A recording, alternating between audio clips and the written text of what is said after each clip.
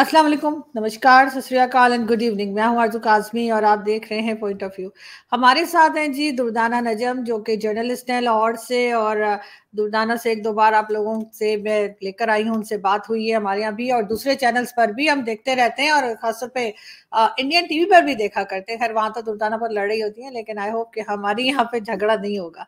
बहुत शुक्रिया क्या जा पाएँगे थैंक यू सो मच मुझे ये बताएँ सबसे पहले तो दुर्दाना अगर हम जो बिल्कुल अभी इस वक्त जो लेटेस्ट न्यूज़ चल रही है नवाज़ शरीफ साहब को लेकर और वो कह रहे हैं कि जी आ, इंडिया के साथ टर्म्स को ठीक करेंगे अफ़गानिस्तान की बात उन्होंने की तो खैर अफ़गानिस्तान तो एक अलग ही जगह है या एक अलग ही टॉपिक है अफ़गानिस्तान का लेकिन अगर सिर्फ़ भारत की बात की जाए तो अभी तक तो कोई ऐसी बात हुई नहीं है। दो बार उनके जो प्राइम मिनिस्टर्स आए पाकिस्तान चाहे वो अटल बिहारी वाजपेयी हो चाहे वो नरेंद्र मोदी जी हों जब भी आए वापस जब गए हैं तो कभी कारगिल हो गया कभी और दूसरे हंगामे रहे और तरह तरह के अटैक्स और पाकिस्तान के ऊपर एलिगेशन आपको लगता है कि अगर इस बार फिर नवाज़ शरीफ साहब ने बात करने की कोशिश की तो क्या भारत पाकिस्तान पे ट्रस्ट करेगा उसको करना चाहिए? और दूसरी तरफ़ पाकिस्तान क्या आ, क्या कुछ कर सकता है कि पहले वाली जो बातें हो हुई जिससे कि दोनों कंट्रीज़ के ताल्लुकात खराब हुए दोबारा ना हो? हाँ जी। पहली बात तो थोड़े से मैं कहना चाह रही हूँ कि मोदी साहब कभी पाकिस्तान में एक दफ़ा आए थे, उनके बेटे की जो वलीमे पे, बेटी के बेटे के वलीमे पे आए थे। लेकिन दैट वाज पकड़े भी इसी नवाज़ शरीफ साहब की, मेरा ख्याल है क्लास भी इसी पे हो गई थी कि वो और फोर्सेस को उन्होंने और बोर्ड नहीं लिया हुआ था। तो आपकी बात सही है कि जो ट्रैक रिकॉर्ड है, हम लोगों ने बहुत बड़ा एक मिसहैप था ये पाकिस्तान की I would say diplomat diplomatic जो हमारा एक एडवेंचर है उसमें कि एक तरफ़ हम uh, उनके साथ दोस्ती का हाथ बढ़ा रहे थे और वो दोस्ती बस जो थी उसका उसमें वो बस में ही आए थे अडवाणी साहब भी आए थे और अटल बिहार वाजपेयी भी आए थे।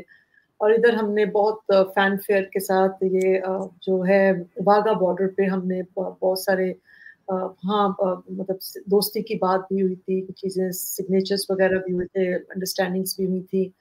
और उसके पैरेलली हम लोग कारगिल जो है, उसका एडवेंचर जो है, वो हम प्लान कर रहे थे और जैसे ही वो वहाँ पहुँचे तो वहाँ हमने ये सारा काम कर चुके थे। और ये बहुत मिस अनफॉर्चुनेट है। देखिए इंडिया की जहाँ तक बात है ना जो मेरे मुझे सुनने में आया है, जो देख के पाकिस्तान के पास अब कोई ऑप्शन नहीं है। अब पाकिस्तान कोई एडवेंचर नहीं कर सकता कश्मीर को लेकर। देखें, ये जितने भी हमने हंगामे उठाए हैं कारगिल हो गया 1965 की वॉर हो गई, या बहुत सारे उसके बाद भी हम मतलब बहुत सारी चीज़ें हम यहाँ से ओरिजिनेट होती रही हैं एलिजिटली ओरिजिनेट होती रही हैं।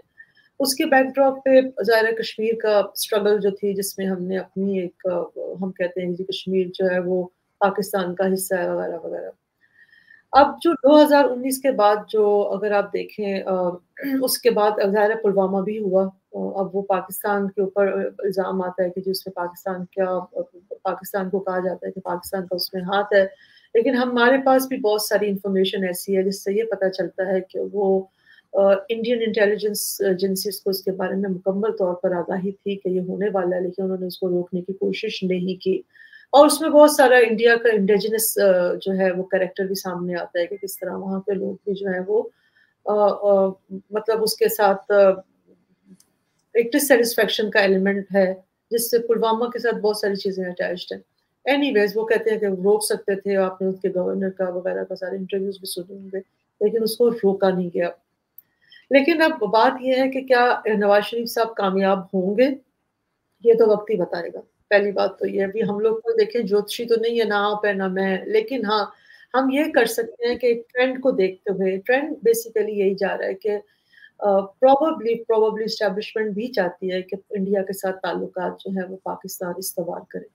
पाकिस्तान इंडिया के साथ ताल्लुक जो है उनके ठीक होने चाहिए, क्योंकि पाकिस्तान का, देखिए हम लोग फिर भी बहुत सारा ट्रेड जो है वो इंडिया के साथ कर रहे हैं, लेकिन इनडायरेक्ट कर रहे हैं। उससे पाकिस्तान की इकोनॉमी को कोई फ़ायदा नहीं हो रहा। दुबई के रास्ते करते हैं या बहुत सारा इनफॉर्मल तरीके से हमारा हो रहा होता है। अगर इसी चीज़ को हम डायरेक्ट कर लें तो पाकिस्तान की इकोनॉमी को भी बहुत फ़ायदा होगा और इंडिया को तो खैर फ़ायदा है ही है। और तो मिर्चे हमें बल्कि कई क्वार्टर से तो ये भी बात आ रही है कि शायद नवाज़ शरीफ साहब को जो, देखिए आप अगर देखें पीपल्स पार्टी को इतनी जगह नहीं दी जा रही। नवाज़ शरीफ साहब को लाने का मकसद भी यही है कि प्रोबेबली मैं फिर प्रोबेबली कहूँगी कि कहीं ना कहीं इस्टेब्लिशमेंट चाहती है कि नवाज़ शरीफ के पास एक ऐसा पॉलिटिकल कैपिटल है जिसको यूज़ करके इंडिया के साथ पाकिस्तान अपने ताल्लुक जो है वो पटरी पे ला सकता है। अभी तो ये है ना कि इंडिया हमसे बात ही नहीं करना चाहता इंडिया किसी चीज़ पे बात नहीं कर रहा। लेकिन हमारे यहाँ बहुत सारी गुंजले हैं इंडिया पाकिस्तान रिलेशनशिप पे। सबसे पहले तो देखें इंडिया का जो नैरेटिव है ना, वो पाकिस्तान के खिलाफ ये है कि पाकिस्तान जो है, वो टेररिज्म को डेवलप क्रिएट भी करता है और उसको एक्सपोर्ट भी करता है। और आप देखें इंडिया जब भी पाकिस्तान के साथ बात करता है, अब तो वो यही कहते हैं कि जी, पहले टेररिज्म खत्म करें तो फिर हम ये करेंगे, पहले टेररिज्म करें। अब पाकिस्तान किस तरह से इंडिया को ये बावर करवाए कि जी, पाकिस्तान जो है वो डिस्टेंस हो, पाकिस्तान तो खुद टेररिज्म की मार खा रहा है। मतलब आप देखें कि कितना सिक्योरिटी फोर्सेस जो हैं, उनको कत्ल किया जा रहा है, उनको शहीद किया जा रहा है, उनको मारा जा रहा है। तो पाकिस्तान की एक बहुत बड़ी कंट्रीब्यूशन है टेररिज्म के खिलाफ ऑब्वियसली वो अलग बात है कि वो टेररिज्म हमारे गले पड़ गई। अब खुद ही हम उसका शिकार हो गए हैं।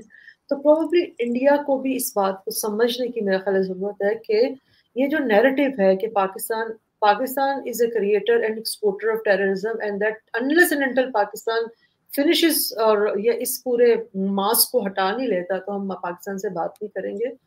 तो ये एक प्रॉब्लमेटिक एरिया है लेकिन जहाँ तक लगता यही है कि पा, पाकिस्तान जो है वो थ्रू नवाज़ शरीफ इंडिया के साथ कुछ ताल्लुक में बेहतरी जाते हैं।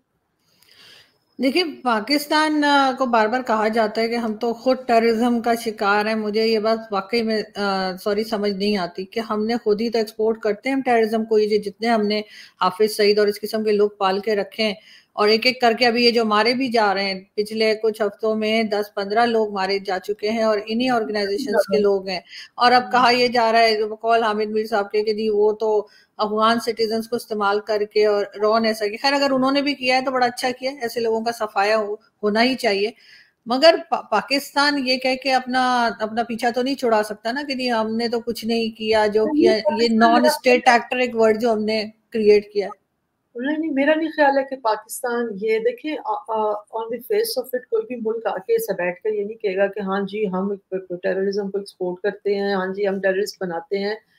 लेकिन ये बात बहुत सारी जगहों पर क्लासीफाई डी क्लासीफाई हो चुकी है और बहुत सारी जगहों पर बात भी आ, मतलब आर्मी ने भी की है और बहुत सारे लोगों ने भी की है कि पाकिस्तान ने इन लोगों को पाला भी था बनाया भी था टेरर देखें जो हाँ अगर अगर देखें एक मुल्क अगर किसी ग्रुप को गुट कहता है गुट तालिबान और बैठ तालिबान। आप देखें वो मैं बार बार कहती हूँ। अब वो गुट तालिबान बैठ तालिबान जो थे वो जो गुट तालिबान बैठ तालिबान वाली हमने डिस्टिंक्शन की हुई थी उसके बाद वो सारे मर्ज हो गए मर्ज हो गए वहाँ से टीटीपी निकला। था आपको पता ही होगा तरीके तालिबान फिर एक, एक तरीके तालिबान पंजाब भी है। जिसके बारे में राना सनाउल्ला ने आपको शायद याद होगा कि एक बयान दिया था उसमें उन्होंने कहा था कि ये तो हमारे अपने भाई हैं।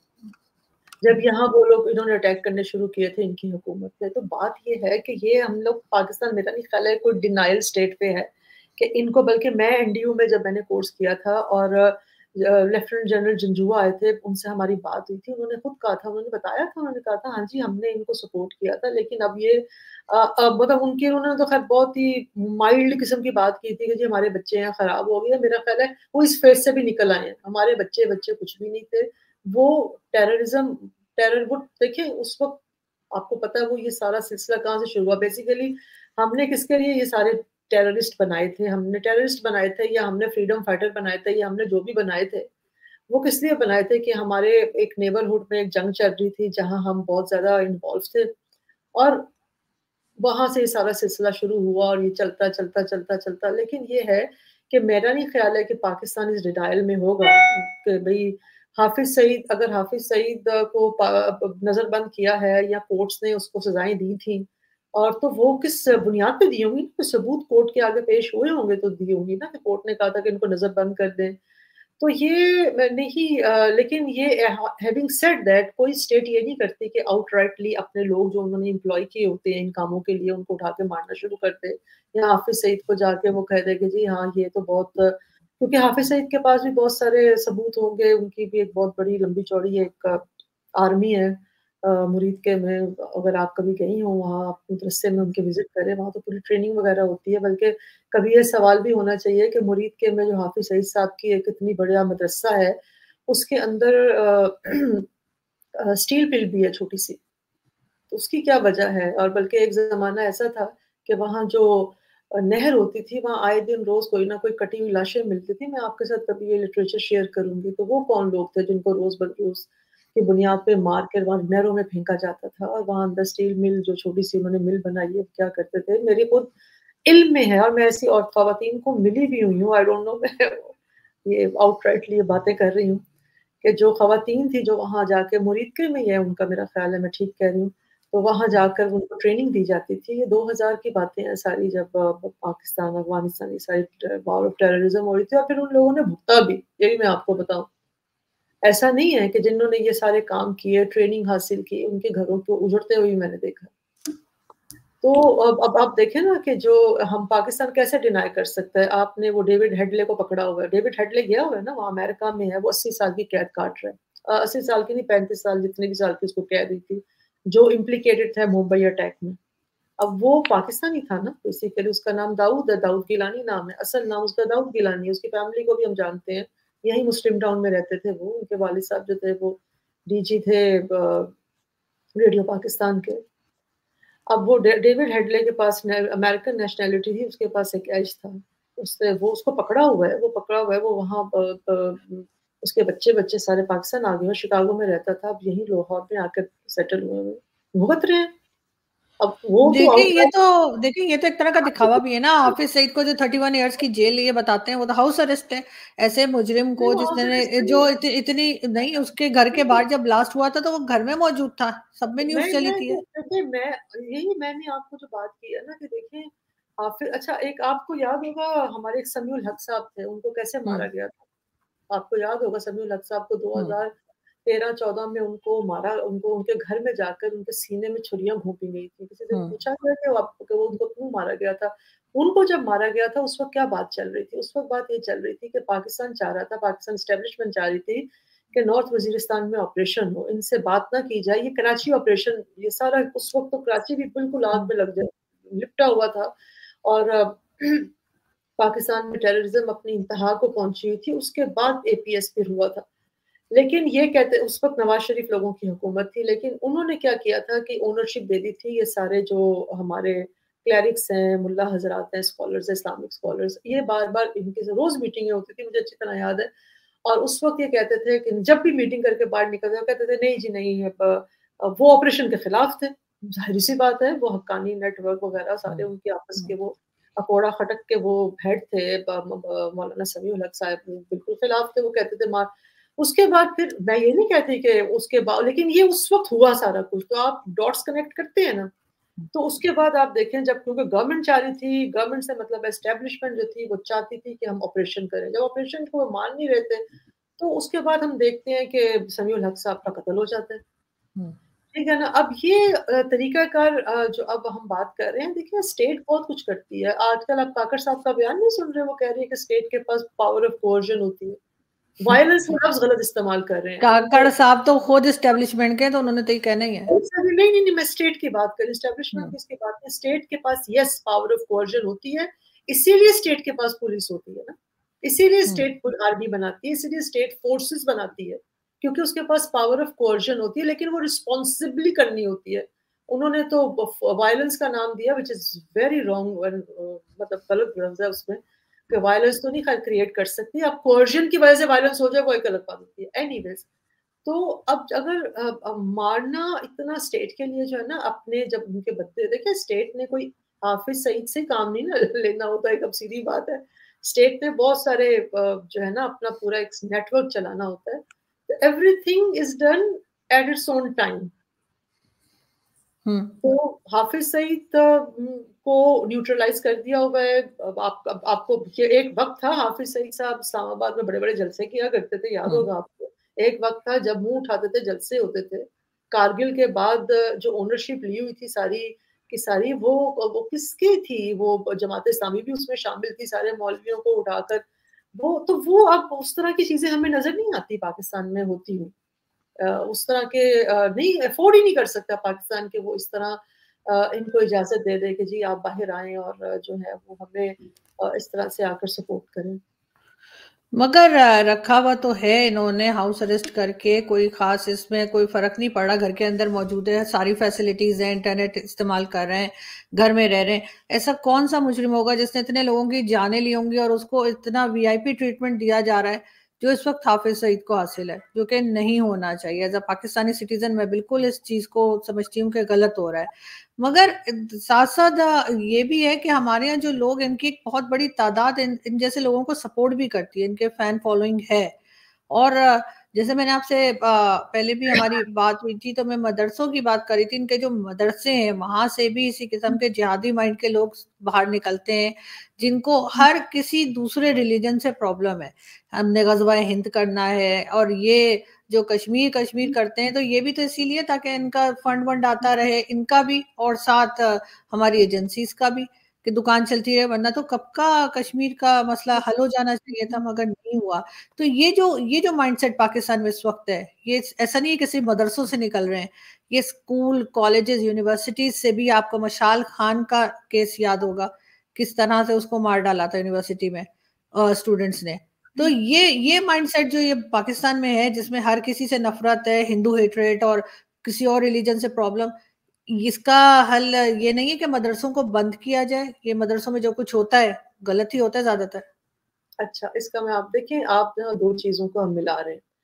एक चीज़ है टेररिज्म और एक चीज़ होती है एक्सट्रीमिज्म ठीक है? दोनों अलग अलग चीज़ें हैं। एक्सट्रीमिज्म जन्म देती है टेररिज्म को। लेकिन हमें प्रॉब्लम इस वक्त पाकिस्तान में ना जो है, वो इंतहा पसंदी की है, जिसे एक्सट्रीमिज्म कहते हैं।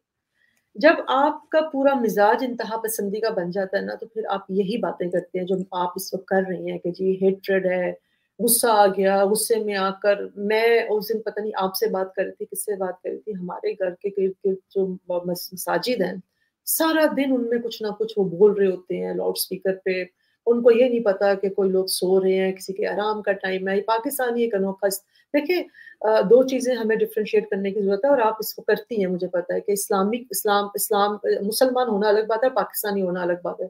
पूरी दुनिया के जो मुसलमान ममालिक है, वहाँ बहुत डिसिप्लिन के साथ ज़िंदगी गुजारी जा रही है। मलेशिया उसकी बहुत बड़ी एग्ज़ाम्पल है, उसके बाद दुबई है, और सऊदी अरेबिया है। उन्होंने इस्लाम की जो तालीमत का तरीका कार है, उसको रेगुलेट किया हुआ है। और अगर हमें उसामा बिन लादन याद है तो उसामा बिन लादन कहाँ से आया था? वो सऊदी अरेबिया से आया था। क्योंकि उन्होंने भी उसको ठीक कर लिया हुआ अपने सिस्टम को चेंज करके। एक्सट्रीम तो पाकिस्तान का एक बहुत बड़ा मसला जो है एक्सट्रीमिज्म का है। आपका जो एक सवाल है ना कि जी ये सारी बातें मदरसे से निकलती हैं। मदरसा जो है, वो बंद जहनों को पैदा करता है। मदरसा जो है, वो इंतहा पसंदी ज़ाहिर है। मैं आपकी इस बात से डिनाई नहीं करूँगी, लेकिन इसको हम एक वाइडर परस्पेक्टिव में देखते हैं। उसके अंदर फिर जब हम वाइडर परस्पेक्टिव में देखेंगे ना तो हम फिर हमारा जो फोकस होगा ना, वो शिफ्ट होगा पॉलिसी मेकिंग में कि कहाँ से मसला ये स्टार्ट होता है। आज एक रिपोर्ट आई है, आपने अखबार में ज़रूर देखी होगी ट्रांसपेरेंसी इंटरनेशनल की रिपोर्ट आई है इंटरनेशनल ट्रांसपेरेंसी वो सारी अखबार, उसने कहा है कि जी, पाकिस्तान का, उसके मुताबिक रिपोर्ट के मुताबिक पाकिस्तान का जो करप्शन के हालात में जो सबसे नंबर वन पे करप्शन का इदारा है जिस जो सबसे ज़्यादा करप्शन है वो लो एंड बी होल्ड वो जुडिशरी है। हम्म। यानी कि आपके मुल्क के जो जजेस हैं वो ट्रांसपेरेंसी इंटरनेशनल कह रही है कि वो सबसे ज़्यादा करप्ट है। उसके बाद वो कहते हैं जी पुलिस का इदारा है उसके बाद वो एजुकेशन को भी कहते हैं। अच्छा अब आप मुझे एक बात बताएँ जजेस जो है वो मदरसे में पढ़ते हैं। अच्छा अब करप्शन जो होती है ना, मैं आपको आरज़ू एक चीज़ आपको बताऊँ। करप्शन भी एक किस्म की इंतहा पसंदी होती है। आप करप्शन ये है ना, आप एक मौलवी जो है, अगर किसी ने मिशाल को मज़हब के नाम पे मारा है तो उसका दिमाग करप्ट ही है ना। उसके अंदर एक तालीमत, उसको गलत तरीके से दी गई है। एक मौलवी जो है, अगर वो मदरसे में किसी बच्चे का रेप करता है, किसी लड़के का रेप करता है, उसको मार देता है, उसको तशद करता है तो वो भी करप्शन है ना। मॉरल करप्शन है। हर तरह की करप्शन होती है अब आप मुझे एक चीज़ बताएँ। मैं आपको जहाँ लाना चाह रही हूँ कि जो जजेस जो करप्ट है जिनको कहा जा रहा है कि वो करप्ट है इंटरनेशनल असेसमेंट है वो करप्ट है। और उसके बाद तो अगर आप वो पढ़ेंगे तो पुलिस का वो पैसे बताए हुए हैं कि एक केस को सॉल्व करने के लिए पुलिस कितना पैसे लेती है। अब ये लोग मदरसे से तालीम हासिल करते हैं। मदरसे मदरसे में ज़रूर सीख रहे करप्शन की बात अलग है। करप्शन तो कोई भी कर सकता है। बात ये है कि मैं आपको ये नहीं मैं किसी को और और ये ये सोच जो है मदरसे वाली ये तो अब यूनिवर्सिटीज तक फैल चुकी है इसलिए कि जब भी मशाल खान का केस हुआ। आप मेरी बात तो सुन आपको मैं आप ही की बात कर रही हूँ मैं कोई नई नैरेटिव नहीं याद दे रही। अब वो क्या मदरसे में पड़े हुए हैं? बात ये है कि हमारा जो मैं कहना ये चाह रही हूँ कि हमारा जो पूरा सिस्टम है ना वो पूरा सिस्टम ही खराब जो है ना वो एक वो बैठ गया हुआ है। हमारे सिस्टम के अंदर जो है वो हर चीज़ के अंदर हमारा जो एज ए होल अगर आप देख रही हैं तो उससे सारा सारा सिस्टम जो है वो इंतहा पसंदी के ऊपर है, वो मतलब एक सीधा सिस्टम हो चुका हुआ है। उसी में मदरसे आते हैं, उसी सिस्टम में, उसी सिस्टम में आप वो वो लोग हैं जहाँ जुडिशरी अपनी तालीम हासिल करती है। इसी सिस्टम में वो लोग हैं जहाँ से पुलिस को ट्रेनिंग मिलती है। इसी सिस्टम अब आपको मैं एक और चीज़ बताती हूँ, मदरसे मलेशिया के अगर आप थोड़ा सा पढ़ेंगी ना, उनका लिटरेचर रिव्यू देखें मलेशिया में बालिक में आपको पता होगा और इंडोनेशिया में भी मलेशिया में भी इन चालीस हम्म। जगहों के ऊपर अटैक्स हुए थे। यहाँ अच्छा सेंट्रल एशिया आपका भरा हुआ मदरसों से। अच्छा मदरसे की जो एजुके अब लेकिन बात कहना मैं ये चाह रही हूँ कि उन्होंने भी मदरसे को रिफॉर्म किया ना अपने मदरसे मदरसे खत्म नहीं हुए। मदरसों को रिफॉर्म किया। हमारे यहाँ भी मदरसे रिफॉर्म हुए लेकिन चूँकि हमारा जो पूरा पॉलिसी का स्ट्रक्चर है वो इतना फ्लॉड है। हमारे जो ऑब्जेक्टिव्स हैं, वो इतने फ्लॉड है कि किसी चीज़ के ऊपर कोई रिफॉर्म होती नहीं है। देखिए ना आप जजेस की करप्शन को मदरसों के साथ मिला रही हैं वो चीज़ मैं बिल्कुल नहीं समझ पा रही इसलिए कि मैं एक अलग बात कर रही हूँ मदरसों से या इवन अब यूनिवर्सिटी और कॉलेजेस तक में ये सोच जो है वो पहुँच चुकी है अच्छा, कि हर एक का अपना इस्लाम चल रहा है हर एक को कल परसों मैंने एक साहब लाहौर के एक सेकेंड एक सेकेंड लाहौर के सलमान साहब जो है उनका मैंने इंटरव्यू किया तो वो कहने लगे कि कोई फॉरेनर जाए उनको लेकर वो कहीं गए लाहौर में कहीं उन्हें घुमाने कौन सी मस्जिद दिखाने तो वहाँ के मौलवी साहब आके कहने लगे आपने इनको इस्लाम की दावत दी? क्या ज़रूरत पड़ी आपको हर एक को इस्लाम की दावत देने की? मुझे तो ये समझ नहीं आती। ये तो यही तो सारी बात है ये तो इल्म की फुकदान है ना। इल्म का फुकदान है एक्सपोयर का फुकदान है। हम पर्सनल लेवल पे सारी बातें कर रहे होते हैं हमारा नेशनल लेवल पे कोई नैरेटिव नहीं है हमारी नेशनल लेवल की कोई पॉलिसी नहीं है ये सारी बातें इसलिए तो मैं आपको बता रही हूँ कि ये तमाम चीज़ें उस अब पंजाब यूनिवर्सिटी में चले जाए। मेरी तो जमात इस्लामी वालों से मेरा झगड़ा ही यही है कि पंजाब यूनिवर्सिटी पर चले जाए आपको लगेगा कि आप किसी थर्ड क्लास स्कूल में चले गए वो तो यूनिवर्सिटी लगती नहीं है। जमात इस्लामी ने उसको बिल्कुल अपना इन्फ्लुएंस कर करके कर करके इतनी पेनिट्रेशन है कि वहाँ बच्चे मैं मैंने मुझे वहाँ एक कोर्स ऑफ़र हुआ। मैं अब आपको एक एग्जांपल देती हूँ। कोर्स हाँ। ऑफ़र हुआ ये इसमें था सोशियोलॉजी का कोर्स था। सोशल वर्क के ऊपर था।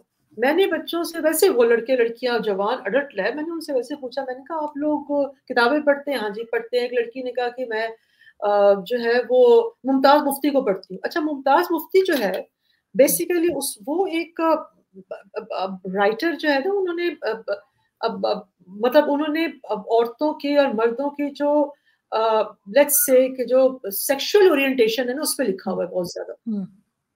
ठीक है बहुत ज़्यादा सेक्सुअल ओरिएंटेशन के ऊपर लिखा हुआ है उनकी आ, मतलब साइकोलॉजी पूरी उन्होंने इसके ऊपर उनका सारा जो नैरेटिव मैंने उनकी कुछ बुक्स पढ़ी है मैंने भी अब उसको हम्म। लड़की मुझे क्या जवाब देती है? कहती जी मैं मुमताज़ मुफ्ती को पढ़ती हूँ। मैं कहा बड़ी अच्छी बात है। मैंने कहा आपने उसके उसने दो मैंने कहा उनका क्या फलसफा है? कहती है जी वो जो है ना वो अल्लाह ताला की बातें करते हैं वो अल्लाह ताला वो हर बात मैं उसका मुँह देखूँ कि ये क्या बात कर रही है? उसको लड़की के पास कोई जवाब, इतना ज़्यादा जहन साल, हर चीज़ में मज़हब, हर चीज़ के अंदर मज़हब लेकर आना, मैं जिस बच्चे से जो सवाल करती थी, उसके अंदर मज़हब को लेकर आता था। मैं कहती हूँ कि मैं अब सारा वहाँ खड़ी होके उनको कह तो नहीं सकती थी कि आप हर बात में मज़हब को ना लेकर आए।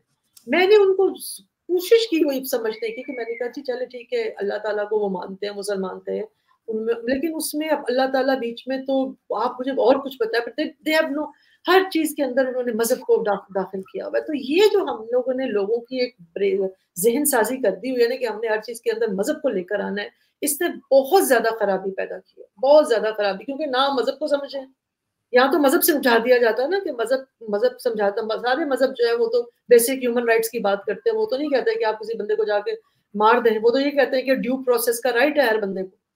आखिर इस्लामी जितने भी, इस्लाम की जितनी भी आप, तारीख देख लें जितना भी हुक्मरानी की है, क्या वहाँ काजियों का हुक्मरान काजी नहीं थे जजेस नहीं थे?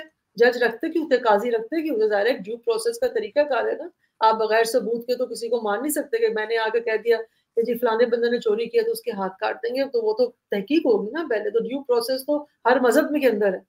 तो बात ये है कि ये तो यहाँ तो कोई मैंने उस दिन भी शायद आपको कह रही थी कि यहाँ कोई माई बाप ही नहीं है। अब जब जज करप्ट होंगे तो क्या रूल ऑफ़ लॉ कहाँ होगा? वो आपने उस दिन एक सवाल किया था ना पाकिस्तान में इन्वेस्टमेंट कहाँ से आएगी? रूल ऑफ़ लॉ ही नहीं है। कौन इन्वेस्टमेंट करने आएगा? हम्म। मैं आपका एक इंटरव्यू सुन तो देखिए ना वो जो था जो श्रीलंकन था उस बेचारे को मार दिया रिलीजन के नाम पे। अब वो देखिए ये है कि हम ये भी पता करें ना कि रिलीजन को इस्तेमाल कैसे किया जाता है। वो उसने बेचारे ने मना किया था कि यहाँ स्टिकर ना लगाए। हाँ। ये जहन साजी है ना।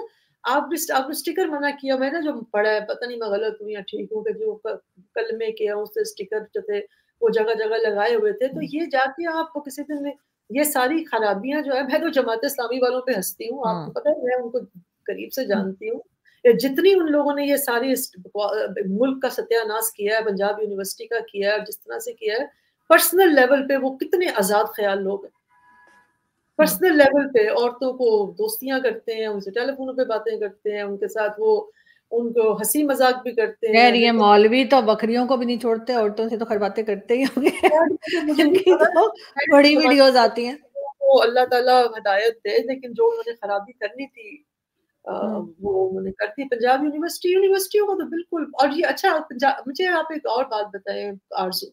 क्या जमात इस्लामी बगैर स्टेट की मर्ज़ी के कर सकती थी? नहीं कर सकती थी ना उनको स्टेट का पूरा हाँ स्टेट की पूरी आ, मतलब आशीर्वाद था उनके ऊपर कि आप जाए ऐसे ये ये भी है और इसी किस्म से जो बाकी रहे चाहे वो लाल मस्जिद हो चाहे ये टीएलपी हाँ, लाल मस्जिद आपने देखे लाल मस्जिद को आपने उनको वो हमारी नाक के नीचे वो पूरा का पूरा हम्म। वहाँ गुदाम के गुदाम हमें मिले वो कैसे इतने इतनी उनके अंदर हमने मतलब वो एक्सट्रीमिज्म की एक, मिसाल है कि आप सुसाइड बॉम्बर वहाँ बना लो अभी भी अभी भी वो निकले हुए थे अभी भी निकले थे उसने कहा भी वो जो औरत बाहर निकली उसने कहा कि आप भूल गए शायद सुसाइड बॉम्बर्स ये भी बात है वो वीडियो नहीं देखी कि वो एक खातून हम्म। निकली उसने कहा हाँ। कि फौज को उसने ललकारा है हम्म। उसने कहा कि जी यहाँ गाना बजाना हो रहा था और आवाज़ें आ रही हैं और ये फौजी कर रहे हैं या गजा में लोग मर रहे हैं हम्म। आपने वो वीडियो देखी होगी देखिए देखिए वो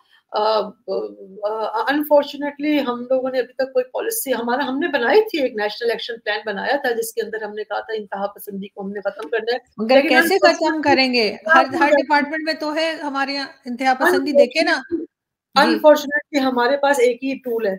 और जिस सूफी इस्लाम जिस कवालियाँ करा इस तरह थोड़ी एक्सट्रीमिज्म खत्म होती है नहीं आप आपको याद होगा परवेज मुशर्रफ पर अटैक हुआ था जब उन्होंने ऑपरेशन किया था लाल मस्जिद का उसके बाद जो अटैक किया था वो फौजियों ने तो किया था। तो अब तो फौजी भी इसी माइंडसेट के हमारे यहाँ भी बनी थी फौज में भी बहुत ज़्यादा तथीर हो गई है फौजी भी अब लेकिन बात यह है कि कुछ चीज़ें इतनी फ्रेंच हो गई हुई हैं हमारा अपना हमारे यहाँ बहुत ज़्यादा खराबियाँ हैं जिसकी वजह से रूल ऑफ़ लॉ ही नहीं है सबसे पहली बात है। आप देखिए ना कि जहाँ आप कहती है ना ये छोटी बात नहीं है कि आपके जजेस सबसे ज़्यादा करप्ट हो। वो चर्चिल ने क्या कहा था जब उसको आगे कहा कि जी जंग हो रही है ये हो रहा है वो हो रहा है लंदन उसने कहा कि हमारी अदालतें काम कर रही हैं बस ठीक है जब अदालतें ही नहीं काम कर रही तो मैंने उठ के भी मैं पता नहीं कितनी मिसालों को मैं मार दूँ। वो तो है लेकिन ज़ाहिर है जहाँ पर आपने इस्लाम के नाम पे मुल्क तो बना लिया लेकिन अब उस इस्लाम को लेके सबके सर के ऊपर चढ़ बैठे हैं और अब किसी और का यहाँ पे रहना या किसी और तरीके से सोचना जो है वो एक गुनाह बना दिया है। तो ऐसी ऐसी कंट्री में कौन रहे खुद कौन रहेगा? खुद भाग रहे यहाँ से। कितने लोग हैं जिनको जहाँ मौका मिलता है निकल जाते हैं। हम यूएई जैसे भी तो बन सकते हैं ना हम दुबई जैसे भी तो बन सकते हैं क्यों नहीं बन सकते? वो भी तो इस्लामिक कंट्री हाँ। बिल्कुल बन सकते हैं और अपनी अपनी पर्सनल लाइफ में सारे यूएई में रह रहे हैं।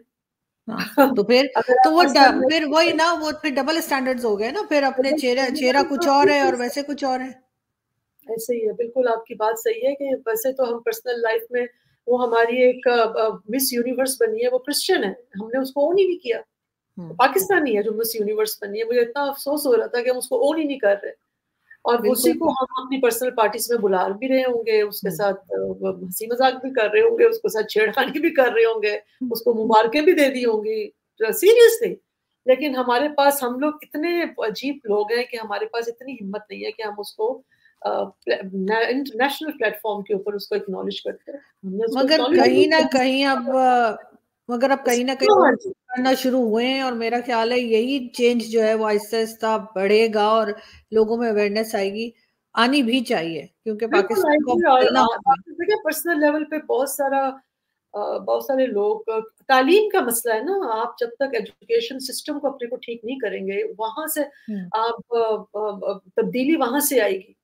आहिस्ता, वहाँ से आप रिफॉर्म लेकर आएँगे। मीडिया एक बहुत बड़ा टूल है। उसके ज़रिए कितने आप प्रोग्राम कितनी आप एडवर्टीजमेंट देखती हैं जो पब्लिक सर्विस की एडवर्टीजमेंट होती है? हालाँकि गवर्नमेंट का एक काम है बहुत बड़ा बजट होता है, लेकिन उस पर भी काम नहीं हो रहा। तो मैंने we have lots of tools हमारा ड्रामा का एक बहुत बड़ा इंस्ट्रूमेंट है। उसके ज़रिए हम अपनी चेंज कर सकते हैं। लेकिन अनफॉर्चुनेटली सारे प्लेटफॉर्म्स पे हम सिर्फ़ एक ही काम कर रहे हैं री कर रहे हैं। जो मौजूदा हालात हैं उनको। बिल्कुल ऐसा ही है लेकिन फिर भी मेरी कोशिश और मेरी दुआ यही है कि पाकिस्तान को कभी बदलता हुआ देखें और कोशिश जारी रहेगी बात करते रहेंगे। थोड़े लोग हैं अभी लेकिन आई होप के लोग बढ़ते जाएँगे और कहीं ना कहीं पे कुछ बेहतरी आएगी। बहुत शुक्रिया। जी। Thank you so much thank you so much कि आपने ज्वाइन किया। बहुत शुक्रिया। Thank you